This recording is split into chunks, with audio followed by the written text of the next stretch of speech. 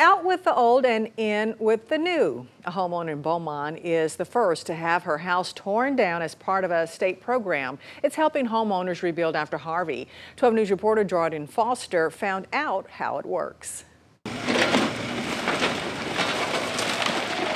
The walls came crashing down. The only thing left here, the memories, good and bad. It's been a long journey. Monday morning, Betty Jolivet and her family watched as their home that was damaged during Harvey was crushed to make way for something new. It's like a load was just lifted off of me and I feel light as a feather. She's the first to see results from the Texas Homeowner Assistance Program. It uses federal money to help families repair and rebuild homes affected by Harvey.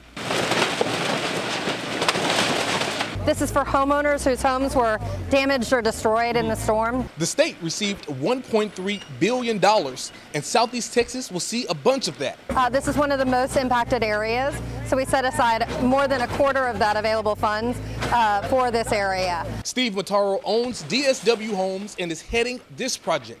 He says the Jolivet family's new home will be built to withstand future storms. This house will be raised up out of the future floodplain by a minimum of two feet. The new house will be built fast. 20 days from now, Betty will be handed the keys to her new place. Her message to the 2,000 other applicants for the program, good things come to those who wait.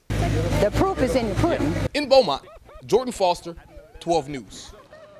Well, it's not too late to apply for the Homeowner Assistance Program.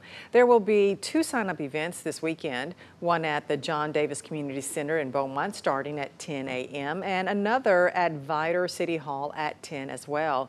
And if you aren't able to make either event this weekend, you can always head over to their website, recovery.texas.gov.